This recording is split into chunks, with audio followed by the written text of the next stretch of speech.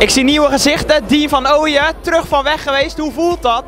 Ja, geweldig om weer terug te zijn. Ik heb hier mijn hele jeugd gespeeld en het is ook uh, het is echt een droom om weer terug te zijn en uh, te spelen op, uh, voor Westlandia. Je bent meegeweest op trainingskamp. lig je al een beetje goed in de groep?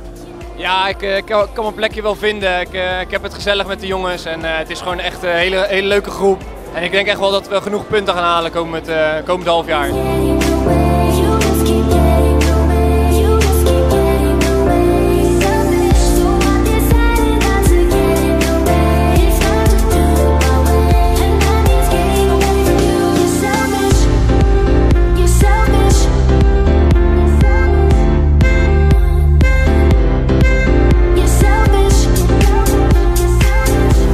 Ja, Patrick Baptist, je bent na een half seizoen ben je weer terug op Sportpark de, Ho de Hoge Bomen. Hoe voelt dat? Ja, het voelt als vertrouwd. Ik, uh, een half jaar is voorbij gevlogen.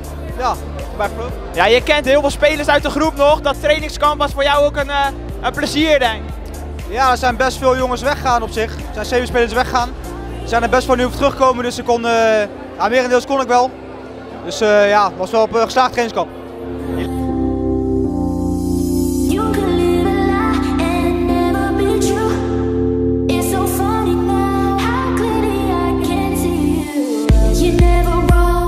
Edwin, we staan hier bij OK Plant, een jaarlijks terugkerend evenement met de Business Club. Maar voor jou de laatste. Volgend jaar geen Westlandia trainer meer. Nee, had ik uh, twee weken geleden niet gedacht.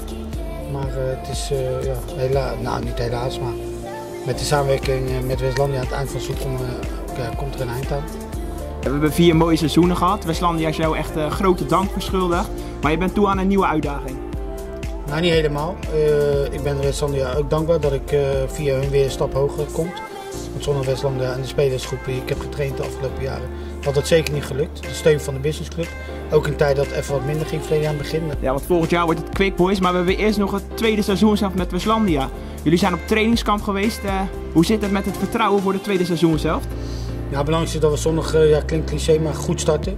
Dat is wat ik in de groep heb verteld, maar ook wel merk bij de jongens. Hopelijk pakken ze het op, want het zal vertrouwen geven als ze met die nieuwe space erbij gelijk een goede start maken.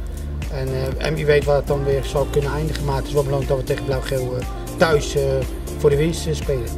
Zondag 2 uur is het moment om een nieuwe start te maken. Ja, maar laten we het hopen en daar gaan we voor.